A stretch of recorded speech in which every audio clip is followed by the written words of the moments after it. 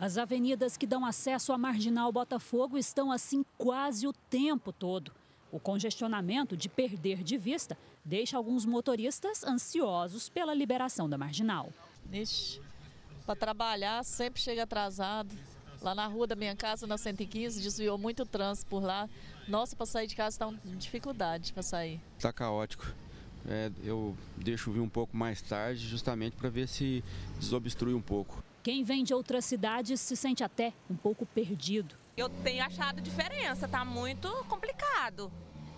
Porque com o negócio de fechar aqui, a, a gente perdeu o sentido para onde que a gente vai, né? Então, não tá fácil não, tá péssimo. Ao lado desse caos, as obras no canal do Córrego Botafogo seguem a todo vapor.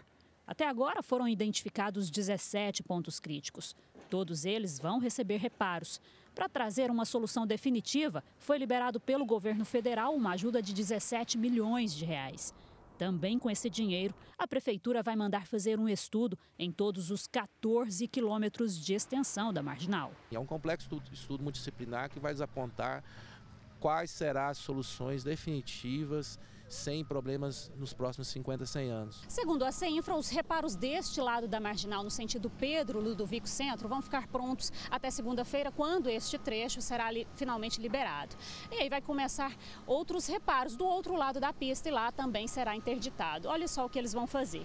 Vão ter que tirar parte daquela terra ali, reconstruir o gabião. O gabião é essa estrutura de tela com pedras que ajuda na drenagem e também na sustentação. E religar o encanamento do esgoto esgoto, porque normalmente esse esgoto ele não cai no córrego Botafogo. Ele foi destruído por causa da última chuva forte que teve em Goiânia. E aí vão reaterrar e finalmente liberar também o outro trecho da avenida. Esses reparos devem ficar prontos em até 10 dias.